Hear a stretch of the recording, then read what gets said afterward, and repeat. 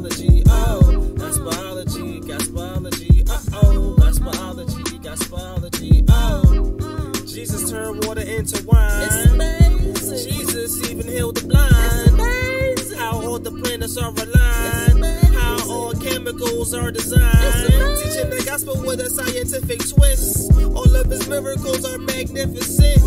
Teaching the gospel with a scientific twist. All of his miracles are magnificent. Oh, gospelology, gospelology. Peekaboo. Peekaboo, I see you. well, hello everyone. Welcome to the Gospelology Show at the Bible Story Lesson Time. I'm Miss Latrece and I'm so glad you joined me today. Before we get started, I just wanted to share with you that if you wanted to follow us on all of our social media sites, you could do that. We're actually on Facebook, Twitter, Instagram, all under the name of Gospelology. That's right. Now, before Mr. Treese does anything, I have to pray. So are you guys ready to talk to God? That's all prayer is, is just us talking to God. So put your hands together like this, bow your heads, and let's talk. Hello, God. It's me, Miss Latrece. And Lord, I thank you for being here with all of these boys and girls and these parents and Christian educators who love you so much and want to learn more about you. So as we go through the day and as we go through this lesson, open up all of our minds so that we may learn new things to understand you even the more. We love you and we promise that we'll talk to you again before the end of the day. In your precious son Jesus' name we pray. Amen. Amen, boys and girls. Again, thank you for joining me. Well, I'm so excited today, but I want to make sure that you have everything that you need for today's lesson, okay?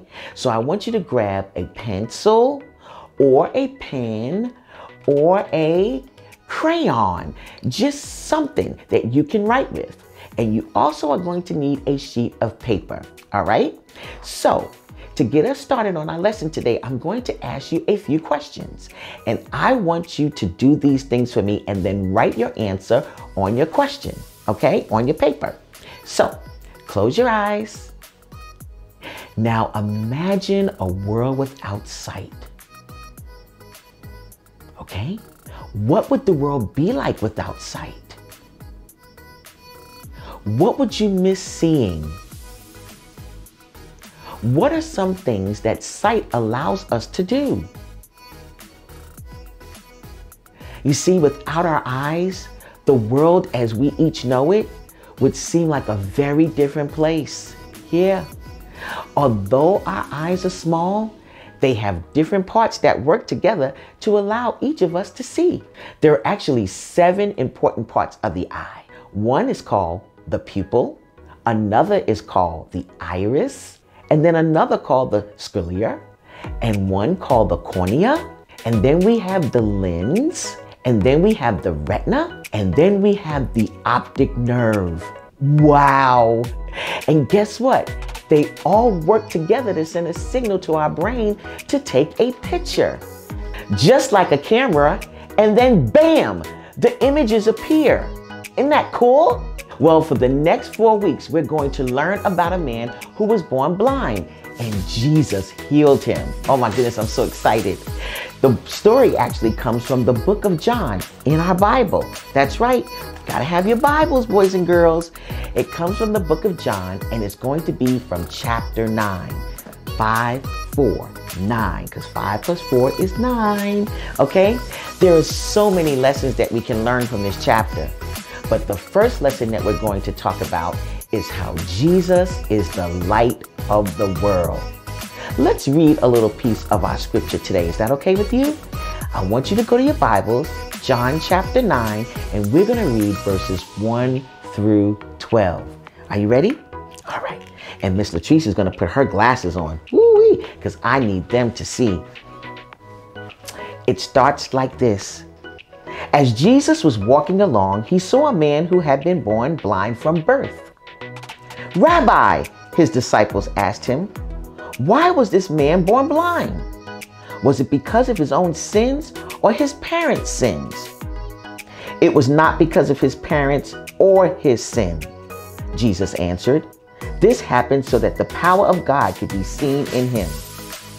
We must quickly carry out the task assigned us by the one who sent us. Mm, the night is coming and then no one can work. But while I am here in the world, I am the light of the world. Then he spit on the ground, made mud with the saliva, and spread the mud over the blind man's eyes. he told him, Go wash yourself in the pool of Siloam. Siloam means sent. So the man went and washed and came back seeing, y'all. His neighbors and others who knew him as a blind beggar asked each other, Isn't this the man who used to sit and beg? Some said he was, and the others said, No, he just looks like him. But the beggars kept saying, Yes, I am the same one. They asked, Who healed you? What happened? He told them, The man they called Jesus made mud and spread it over my eyes and told me, Go wash in the pool of Siloam and I did. So I went and I washed, and now I can see. Where is he now? They asked. I don't know, he replied. Whoa, wasn't that awesome? Jesus took some mud, put it in his hand, spit in it, moved it around, slapped it on the blind man's eyes, and he could see again. Jesus healed him, boys and girls. He not only healed his physical blindness, but he healed his spiritual blindness. I know you're like, Mr. Trees, what in the world is spiritual blindness? well, spiritual blindness is a condition that individuals have that they don't understand or they don't see Jesus or they don't see God or they don't understand his message. And even though God is working all around us, pursuing us and showing us his glory, some people cannot perceive his divine works. But after Jesus healed his physical blindness, this man believed, and now, through his healing of this one man, others will believe. Isn't that awesome? So that day, Jesus didn't just heal the blind man from his physical blindness, but he healed a whole lot of people and the man from their spiritual blindness, okay? because of this, everybody began to see the light, the light of the world. Because you remember when Mr. Latrece asked you to close your eyes? It was dark, wasn't it? But then when you opened them, you could see. Well, that's exactly what happened when Jesus healed the spiritual blindness of these people and the man. You see, some people have to see things to believe them. And guess what? Today in our laboratory, ProMac is going to do an experiment that a lot of people have to see it to believe it. She's going to burn iron. Yes, y'all. Some people think that iron is too heavy to burn, but ProMac is going to show you that it can happen. But before we hop over to ProMac's lab, I want to ask you students a question out there. Are you spiritually blind? Do you know Jesus is your forever friend? If you said yes, ProMac would like to pray with you to make Jesus your forever friend. When we accept Jesus as our forever friend, we walk into a personal relationship with God. Yeah, He changes us. He helps us to love more, care more. He keeps us encouraged where He gives us hope that we never lose. That's right. He makes the world brighter by giving us the light that we need through our hearts. He heals our spiritual blindness. So if you like to get rid of your spiritual blindness today, it's as easy as ABC. All you have to do is this. A, admit that you have sinned. And then B, believe that Jesus died on the cross for your sins. And then C, choose and confess. Choose Jesus to be your forever friend and confess that he is Lord. If you're ready to do that, we're getting ready to go pray with ProMac. ProMac, are you ready? Hello, God. It's me, ProMac, and I just wanted to share with you these boys and girls who want to make Jesus their forever friend.